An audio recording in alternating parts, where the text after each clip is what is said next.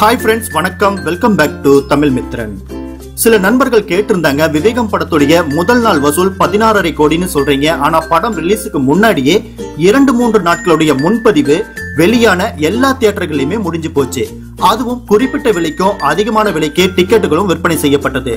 ஏன் யாருமே உண்மையான வசூல் விவரத்தை வெளியே சொல்ல மாட்டேங்கிறீங்க அப்படின்னு பல பேர் இங்க மட்டும் கிடையாது சமூக வலைதளங்களையும் கேட்கிறாங்க இப்போ ஒரு சின்ன உதாரணம் சொல்லணும்னா ரெண்டாயிரத்தி பதினைந்துல வெளிவந்திருந்த வேதாளம் படத்துடைய முதல் நாள் வசூல் பதினைந்தரை கோடி. அப்போ ஜிஎஸ்டி எல்லாம் கிடையாது. ஆனா இப்போ இருபத்தி எட்டு பர்சன்ட் வரைக்கும் கூட ஜிஎஸ்டி இருக்கு.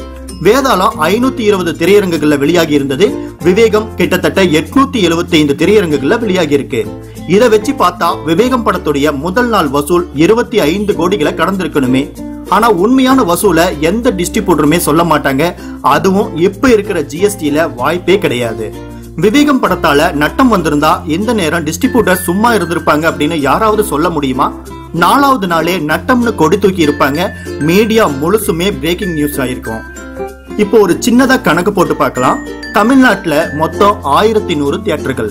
விவேகம் ரிலீஸ் ஆனது எட்நூத்தி எழுபத்தி ஐந்து தியேட்டர்கள் அப்படின்னு செய்திகள் வந்தது நாம கூட சொன்னோம். நாம குறைந்தபட்சம் எழுநூத்தி ஐம்பது தியேட்டர்கள் அப்படின்னு வச்சுக்கலாம். தியேட்டருக்கு குறைந்தபட்சம் நானூறு சீட்கள். முதல் மூன்று நாட்கள் ஸ்பெஷல் ஷோவோட சேர்த்து ஐந்து முதல் ஆறு காட்சிகள் கூட திரையிட்டாங்க.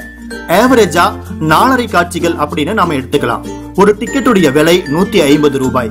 ஒரு ஷோவுக்கு மூணு லட்சம் பேர் குறைஞ்சபட்சம் பார்த்திருப்பாங்க. அப்ப ஒரு ஷோவுடைய வசூல் குறைந்தபட்சம் நாலரை கோடியா இருக்கும். அப்போ அந்த நாளுடைய வசூல் இருபது கோடியே இருபத்தி ஐந்து லட்சம் மிக குறைந்தபட்சமா இருந்திருக்கும். இப்படியே படிப்படியா தியேட்டர்களுடைய அளவையும் காட்சிகளுடைய அளவையும் டிக்கெட்களுடைய விலையையும் ஒவ்வொரு நாளும் குறைச்சி கணக்கிட்டோம் அப்படின்னா பதினைந்து நாட்களுடைய மொத்த வசூல் தொண்ணூத்தி மூணு கோடியே ஏழு லட்சத்தி அறுபதாயிரம் வரும். இதுல ஆவரேஜா இருபத்தி ரெண்டு பர்சன்ட் ஜிஎஸ்டியை கழிச்சிட்டா மீதி எழுபத்தி ஆறு கோடியே ஐம்பது லட்சம் ரூபாய் கிடைக்கும் உத்தேசமா. விவேகம் படத்துடைய தமிழக உரிமை ஐம்பது கோடியில் இருந்து ஐம்பத்தி ஐந்து கோடிகள் வரைக்கும் வியாபாரமாகி இருந்தது. இதற்கு மேல உள்ள கணக்குகளையோ லாப நட்டங்களையோ தியேட்டர் உரிமையாளர்களோ இல்ல விநியோகஸ்தர்களோ தான் சொல்லணும்.